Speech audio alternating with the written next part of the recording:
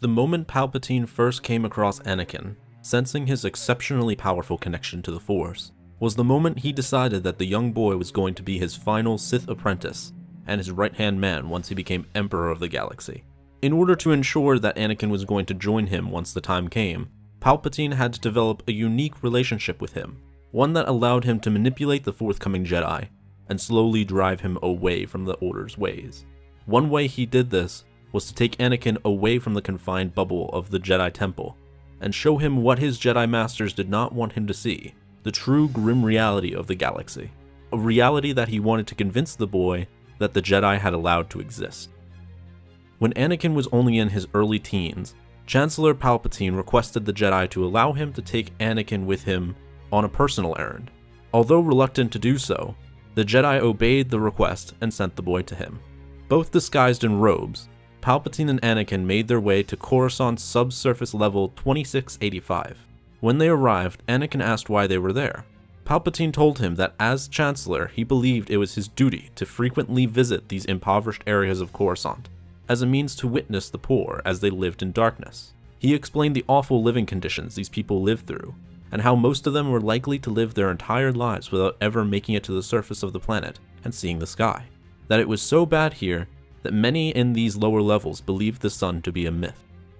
He continued by stating that those before him in the Chancellorship simply ignored these dreaded conditions, and that he refused to follow their path. So he frequently came to these lower levels to see what he was elected to fix, and help those in need whenever he could. They then finally made their way to the club known as Kassakar, where they seated themselves at a booth. Once they settled down, it was time for Palpatine to start what he really came here to do plant the first seeds of doubt and deception into Anakin. He first began by thanking Anakin for taking the time out of his busy schedule to accommodate him on this errand, and that he was quite envious on the young Padawan, on how the Jedi had already planned out his entire life for him, that he was lucky to not have to make any troubling choices in his life. Anakin agreed, saying it was the best thing that ever happened to him, though perhaps never seeing it that way. Never seeing that he didn't have any choices of his own while training to become a Jedi. Palpatine then changed the subject by mentioning how wretched of a place this was, how everyday lives were bought and sold at this very club. He then realized how he shouldn't have mentioned that, knowing Anakin's past as a slave, but Anakin was fine with it, only not understanding why such revolting behavior was allowed by the Senate. Palpatine then explained that the Senate approved of such behavior, as the very club they were in was filled with senators. He then revealed one of them, a senator named Colandris, who was notoriously corrupt, treating the Senate gig as a personal bank account for himself and his cronies. He then mentioned how the senator frequently came here to gamble, and how he so wished that the chance cubes he was currently betting on would turn against him and make him lose a vast amount of his money. And then that very thing happened, as the senator rolled his dice only to find out that they had ended up making him lose all his money on the bet he placed.